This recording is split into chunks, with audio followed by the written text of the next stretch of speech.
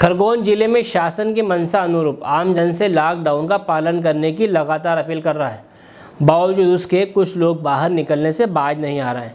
ऐसे में पुलिस प्रशासन चौकसी बढ़ाकर औपचारिक रूप से लोगों को दंड देते दिख रहा है। दरअसल खरगोन ज़िले में जिला कलेक्टर गोपाल चंद्र दाट के निर्देश में 20 अप्रैल तक ज़िले में शहरी क्षेत्र में कर्फ्यू की स्थिति निर्मित करते हुए आमजन से अपील की गई है कि शहर के बाहर कदापि न निकले। इसके बावजूद लोग बुधवार को घर से बाहर दिखाई दिए। इस दौरान मुस्तैद पुलिस प्रशासन ने खरगोन के सनाऊ दौड़ पर वाहनों को रोककर औपचारिक रूप से दंड बैठक लगवाई और घर के बाहर न निकलने की सख्त हिदायत दी। बहरहाल, प्रधानमंत्री की मंशा को सहमति जताकर आमजन घर में इस तरह बाहर नहीं निकलना चाहिए, नहीं खुद के स्वास्थ्य के प्रति खिलवाड़ करने के समान है। जिसके लिए आम जन को खुद जागरूक होना पड़ेगा, जिसमें कोरोना महामारी को मात देकर स्वस्थ समाज का निर्माण हो सके।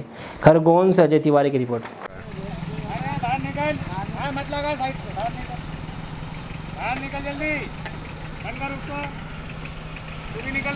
हाँ तू रहा गाड़ी चला रहा मोबाइल से बात कर लेना खड़ा बीच में मैं खड़ा इधर आ जा तुम इधर आ रहे हो कान पकड़ कर लटक लगा जल्दी से बोलते जाना, मोबाइल पे बात नहीं करूँगा। बोल, चले रुक, तू रुक।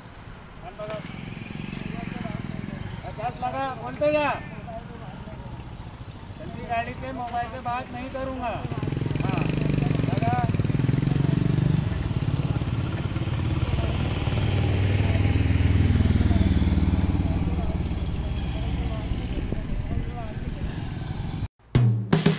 हेलो फ्रेंड्स आप देख रहे हैं हमारा channel S W twenty four news हमारे सारे वीडियो सबसे पहले देखने के लिए आप हमारे चैनल को सब्सक्राइब करें और पास में लगे बेल आइकोन को दबाना बिल्कुल भी ना भूलें।